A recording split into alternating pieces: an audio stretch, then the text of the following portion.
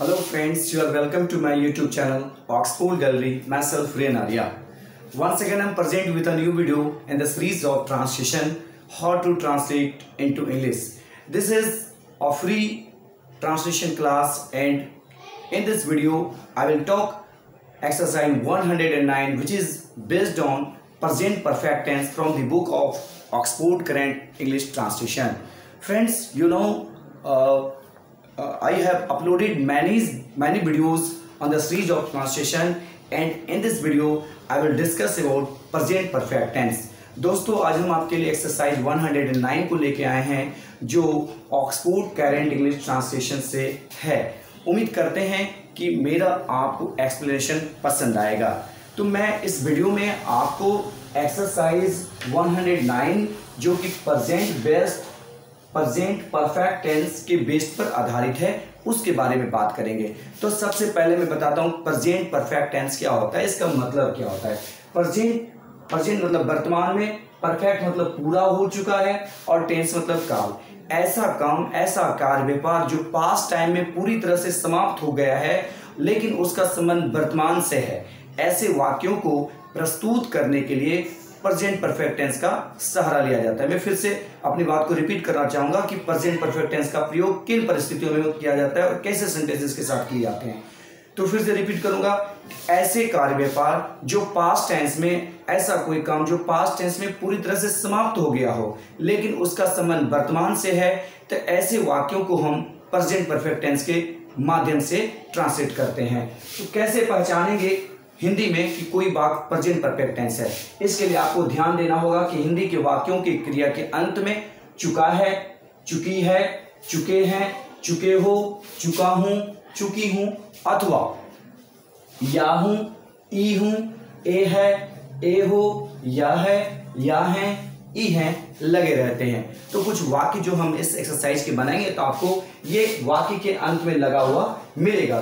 तो इस एक्सरसाइज में आपको मुख्य रूप से अफर्मेटिव सेंटेंसेस मिलेंगे और इसका जो अफर्मेटिव सेंटेंस का स्ट्रक्चर होता है, सबसे पहले आप वाक्य में सब्जेक्ट रखते हैं और सब्जेक्ट के अनुसार हैज़ या हैव का प्रयोग करते हैं। फिर उसके बाद आप पास्ट पार्टिसिपल अर्थात भर्व के तीसरे रूप का उपयोग करते हैं और सबसे अंत में आप अदर वर्ड्स या फिर ऑब्जेक्ट को रखते हैं। यदि वाक्य में नॉट का प्रयोग करना है तो हम किस तरीके से करते हैं? तो अनुमान, हम हैज़ हैव हैव नोट या फिर हैज़ नोट का प्रयोग कर लेते हैं। लेकिन यदि हम दोनों को जोड़कर लिखना चाहें तो हम लोग हैवेंट या फिर हैजेंट का प्रयोग करते हैं। तो चलिए, अब मैं आपको इस एक्सरसाइज से जो भी सेंटेंसेस हैं, उसको ट्रांसलेट करके दिखाता हूँ। उम्मीद करते हैं कि आपको अब यह आसानी से समझ में आ जाएगा। तो चलिए, पहला सेंटेंस लेते हैं, जो है, मैं खेल चुका हूँ। आई हैव प्लेड पहला सेंटेंस था, मैं खेल चुका हूँ। आई हैव प्लेड दूसरे सेंटेंस को देखते हैं, हम लोग पढ़ चुके हैं। वी हैव रीड रीड का तीसरा फॉर्म रीड ही होता है। रीड रेड रीड तुम खा चुके हो। नेक्स्ट सेंटेंस है you have eaten it it का तीसरा फॉर्म होता है ईट एट ईटेन अगले सेंटेंस को देखिए सीता जा चुकी है। Sita has gone go went gone third form है, गो का गोन। वे, वह सो चुका है। ही हैज़ स्लिप्ट स्लिप्ट का, ये स्लिप का थर्ड फॉर्म है स्लिप्ट वे लोग खा चुके हैं दे हैव ईटेन वह पटना गया है he gone to Patna. He gone to Patna. मैंने काम कर लिया है। I have worked I have worked तुमने श्याम को पीटा है। You have beaten Shyam you have beaten Shyam उसने मेरी कलम तोड़ दी है। He has broken my pen he has broken my pen अगले सेंटेंस को देखते हैं। उसने कड़ी मेहनत की है। ही हैज़ वर्कड हार्ड तो अभी तक आपने यहाँ पे देखा और कुछ और सेंटेंसेस को लेते हैं जो इसी एक्सरसाइज से है। वह मुझे भूल गया है। He has forgotten me forget forgot forgotten forget का थर्ड फॉर्म होता है फॉरगोटेन तो ही हैज़ फॉरगोटेन मी अगले सेंटेंस को देखते हैं। उसने पाठ याद कर लिया है। He has learn the lesson तो लर्न का थर्ड फॉर्म होता है learn learn learn he has learn the lesson उसने पाठ याद कर लिया है। अगले सेंटेंस को देखिए, सीता नहीं आई है। सीता हैज़ नॉट कम तो आप देखिए यहाँ हैज़ के साथ मैंने नोट यानी कि दोनों को अलग अलग प्रयोग किया है। अगले सेंटेंस को देखते हैं, मैंने अपना काम नहीं किया है। I haven't do my work इस बार मैंने हैव और नोट को एक साथ ऐड करके हैवेंट का प्रयोग किया है। आप इस तरीके से भी आप निगेटिव सेंटेंस बना सकते हैं। श्याम ने रामू को नहीं पीटा है। Shyam has not beaten Ramu. Shyam has not beaten Ramu. अगले सेंटेंस को लेते हैं। उसने बाघ नहीं मारा है। He has not killed a tiger यहाँ भी हमने हैजेंट का प्रयोग किया है और यहाँ भी मैंने शॉर्ट फॉर्म इसके पहले आप देखें हैज़ और नोट को अलग अलग मैंने लिखा है। लेकिन अगर इसको कंबाइन करके लिखेंगे तो आप इस प्रकार से लिखेंगे हैजेंट या फिर हैव नोट को लिखना है तो हैवेंट इस प्रकार से हम लोग लिखते हैं। मैंने तुम्हें नहीं पीटा है। I haven't beaten you I haven't beaten you शिक्षक नहीं आए हैं।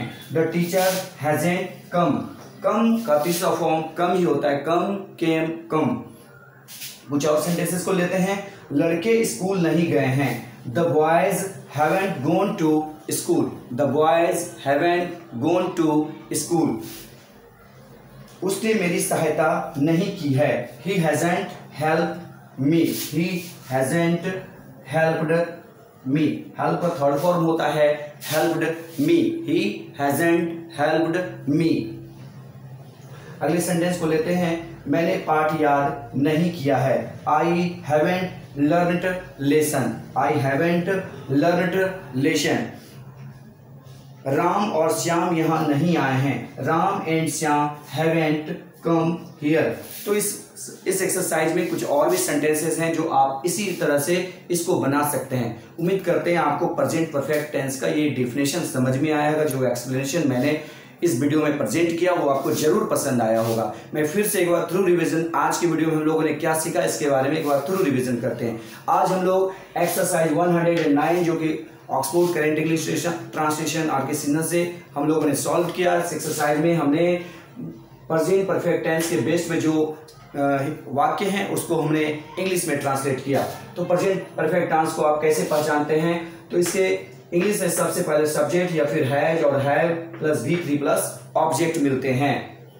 ये अफर्मेटिव सेंटेंस का स्ट्रक्चर है। अगर इसको हिंदी में पहचानना है तो चुका है, चुकी है, चुके हैं, चुके हो, चुका हूँ, चुकी हूँ, लगे रहते हैं। अथवा इसके अलावा या हूँ, ई हूँ, ये है, ये हो, या है, ई है ई है और ई है, लगे रहते हैं। तो इसके माध्यम से आप प्रेजेंट परफेक्ट टेंस को आसानी से समझ सकते हैं। उम्मीद करते हैं कि आपको वीडियो ज़रूर पसंद आया होगा। इस वीडियो को अंत तक देखने के लिए आपको बहुत बहुत थैंक यू। मिलते हैं अगले वीडियो में एक नए टॉपिक के साथ।